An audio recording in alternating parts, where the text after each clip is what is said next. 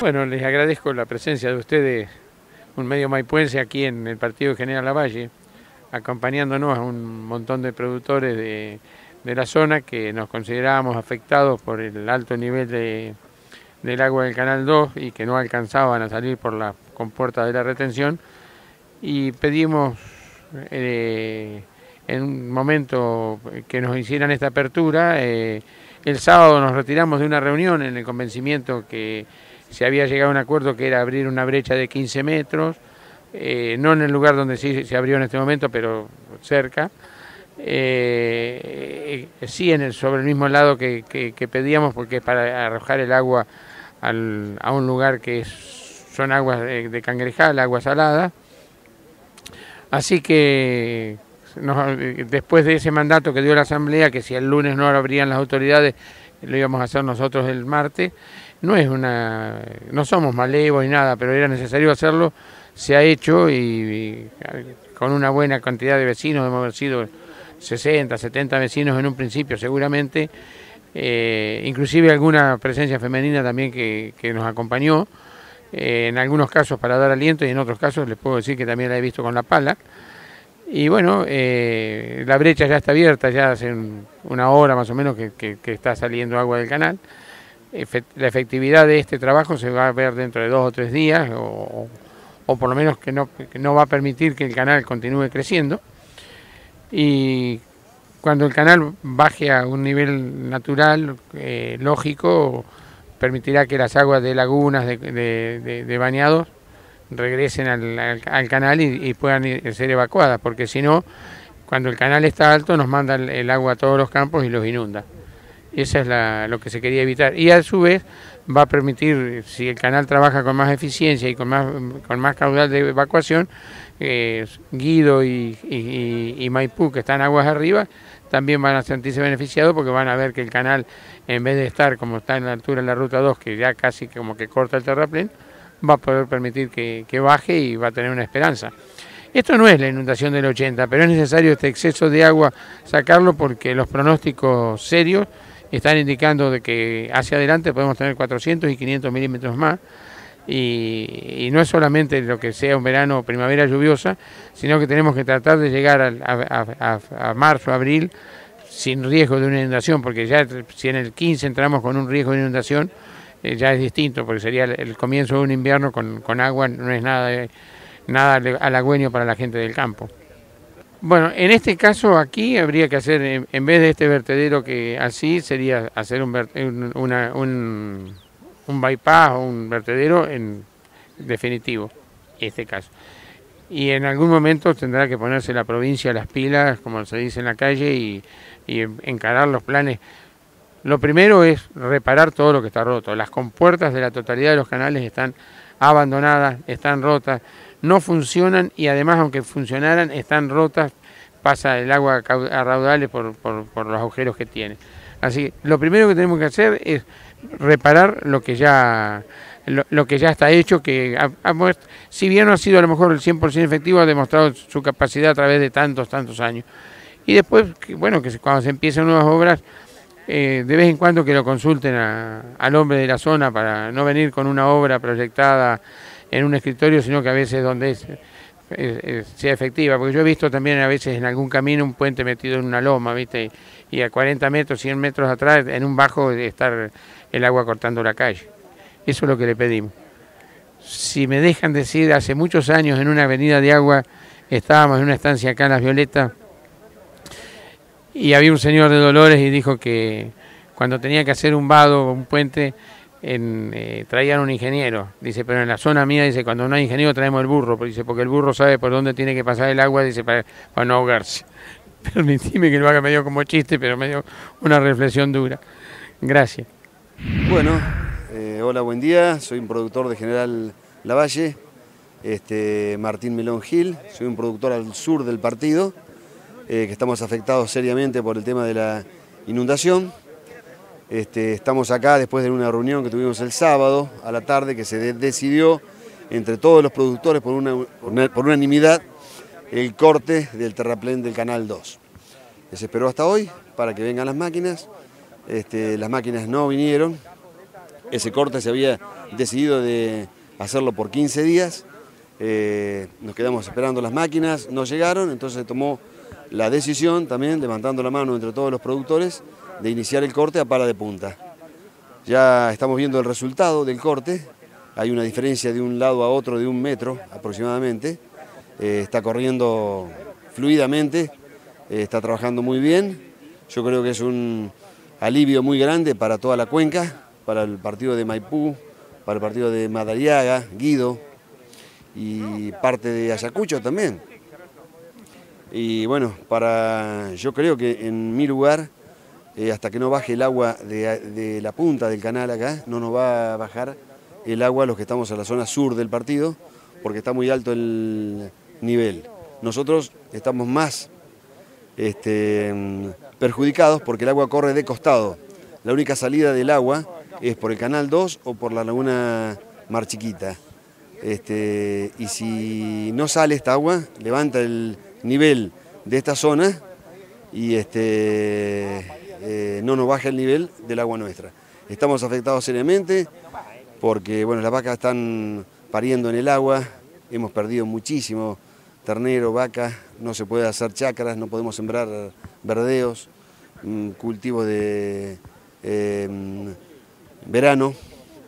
Y este, bueno, esperamos que con esta con este eh, corte que estamos realizando entre todos los productores, este, logremos este, sacar un poco del agua o aliviar esta situación que nos acucia.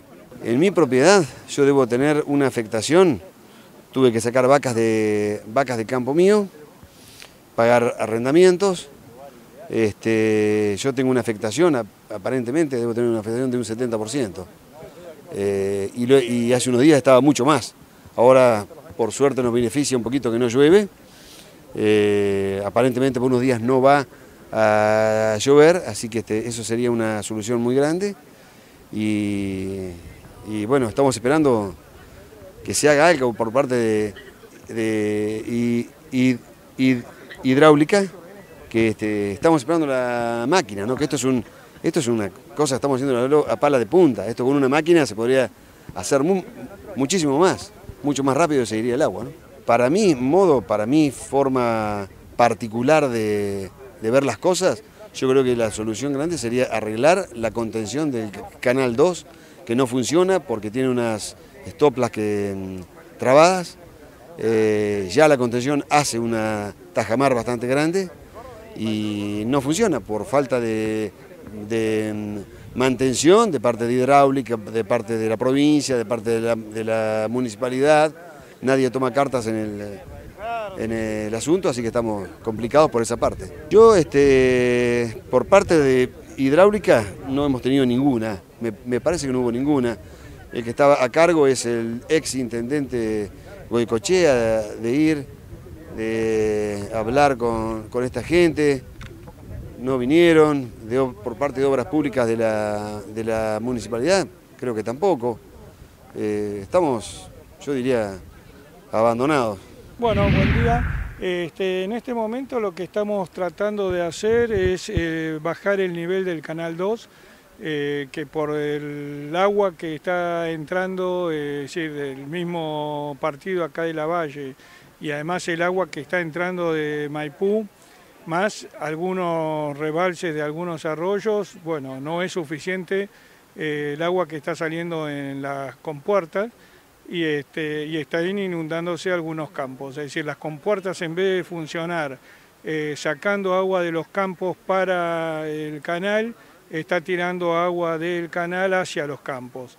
Con lo cual, eh, prácticamente del canal 2 hasta donde está el canal que viene de Guido al mar, esa parte está toda inundada y, este, y bueno, y ahora el próximo paso es abrir o hacer un bypass en el canal de Guido al mar, este, que de las tres compuertas eh, una sola funciona y dos están rotas. Este, ya se hizo un bypass como para poder sacar un poco más de agua, pero bueno, va a haber que ensancharlo porque no es suficiente. Y después este, habría que tomar medidas con el canal Bicoli, que es un canal que viene de la Caquel hasta el arroyo El Chancho, y este, ese mm, arroyo ya no resiste más, no, no, no, no, aguanta más, no tiene más capacidad y también está este, inundando los campos de la zona. Y hay un tapón que es un terraplén eh, que tiene alcantarillas pero que no son las suficientes y son las que está haciendo de que el agua prácticamente eh, no esté pasando hacia lo que sería el Canal 2 y el Canal del Palenque. Esto se lo están tomando haciendo los productores porque hubo una reunión el día sábado este, con la rural y estaba presente también la gente del municipio y quedaron que este trabajo lo iban a hacer ellos el día lunes. Y se había quedado en que si para el día martes no estaba hecho, lo iban a hacer los propios productores, porque los tiempos nuestros, cuando se nos están llenando de agua los campos, las vacas este, están pariendo los terneros en el agua y se están muriendo. Bueno, no son los mismos tiempos que tienen desgraciadamente eh, los funcionarios, que bueno, ellos en este momento, mientras acá se está trabajando, ellos están comiendo tranquilamente en La Plata y, este, le importa tres pitos si nosotros nos morimos, no nos morimos, si nos inundan los campos o no. Este, no se están dando cuenta de que la desgracia que tenemos nosotros en el campo es eh, que después va a haber un montón de productores que no van a poder pagar los impuestos y a su vez vamos a tener el problema, es decir, que no vamos a poder contratar ningún trabajo y al mismo tiempo los pueblos se van a venir atrás por falta de trabajo en el campo. Es decir, que eh, o nos ponemos todos de acuerdo y no solo los agentes de campo somos los perjudicados, sino que en este momento estamos siendo perjudicados todos los municipios también. Calculo que, bueno, dado el agua que hay en la parte de, Guido, Maipú, este, todo lo que hay del lado oeste de lo que es la vía del tren que viene de, este, Mar del Plata, este, hasta que pase para el lado oeste y que viene, llegue a la zona nuestra, eh, calculo que por lo menos van a ser dos meses, mínimo. Si llega a llover eh, lo que está en este momento, es decir, previsto, que a partir de octubre hasta prácticamente abril va a haber lluvias, y bueno, esto va a ser algo continuo hasta, hasta la época, hasta abril. Eh, lamentablemente no se han limpiado alcantarillas, eh, no se han limpiado los canales, el dinero que había, que era para eso, se ha usado en otras, este, en Tecnópolis o lo han tirado para cualquier otro lugar y, realmente, este, bueno, después vienen las desgracias como fue la que tuvimos eh, hace un año en La Plata, en donde hubo 80 muertos, y este, todo es por no haber cumplido hidráulica con lo que tenía que haber hecho. Y lo que pasa es que el arroyo del Chancho pasa por adentro de los campos, y el tapón está dentro de un campo. Ahí tiene que dar autorización el dueño o tiene que dar autorización, es decir, o meterse la municipalidad o hidráulica. Es decir, nosotros como productores no nos podemos meter dentro de un campo. Si se cortara como se está cortando en este momento, eh, ese tapón que hay solucionaría eh, prácticamente todo el centro de la valle y eh, le bajaría a Maipú en mucho menos tiempo, en la mitad de tiempo le estaría bajando el agua. Este, así que eh, ya eso queda en manos de las autoridades, es decir, nosotros como productores no podemos hacer nada.